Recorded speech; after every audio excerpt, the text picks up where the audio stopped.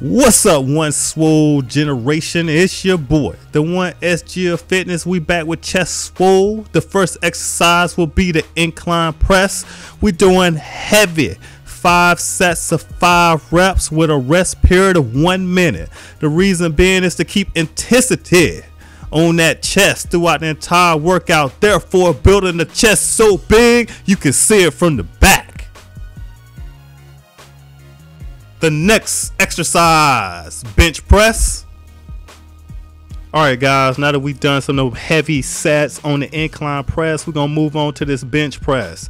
We're going to do three sets of 10 to 12 reps with a rest period of anywhere from 30 to 45 seconds. This will keep intensity and keep the muscle under tension, causing gains and growth. Remember, time under tension equals gains. The next exercise, machine flies. All right, we're moving on to the next exercise. We're doing three sets of 10 to 12 reps. You want to put a weight on here that can fatigue you somewhere between 8 to 10 of those reps. Your rest period is 30 seconds. There again, we want to maintain the intensity throughout this entire workout. So you ain't got time to be talking and having conversation unless it's within that 30 seconds. I'll let you boy.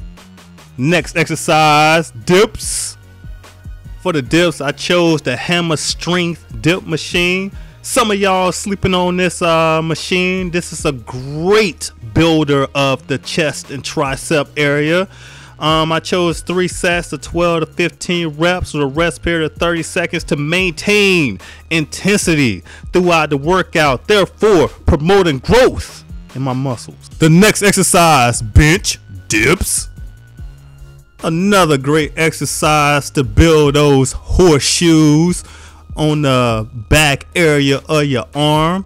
For this one, I chose three sets of 12 to 15 reps. Again, rest period of 30 seconds. That's to maintain intensity throughout the entire workout. Must I say it again? To promote growth and gains. That's what you're looking for.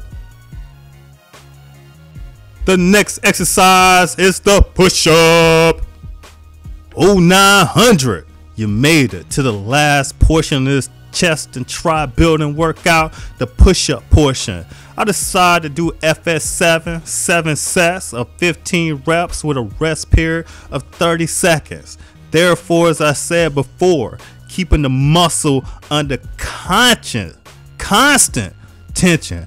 Therefore, promoting growth and I'm gonna use a word that I don't usually use because I don't too much care about the word. I just know as long as you get some blood into the muscle, that's gonna cause growth. But we're gonna go on ahead and define it. Hypertrophy. Increase in both gross mu gross muscle size as well as individual cell size resulting from training, especially weight training. All right? Remember, whenever you step into the gym, got to challenge your muscles in order to cause some growth. If you want to get that sexy, muscular body that you've been looking for. All right? If you got any questions, hit me up in the comment section. I won't be afraid to answer you. I won't. I won't be afraid. All right, I hit you up. But if you want to get some horseshoes and build a chest so big you can see it from the back, this right here is a great uh, foundation starter builder for chest and tris. Don't be afraid to try it out. Hit your boy up in the comment section let me know how you like it. Oh yeah, subscribe to my channel.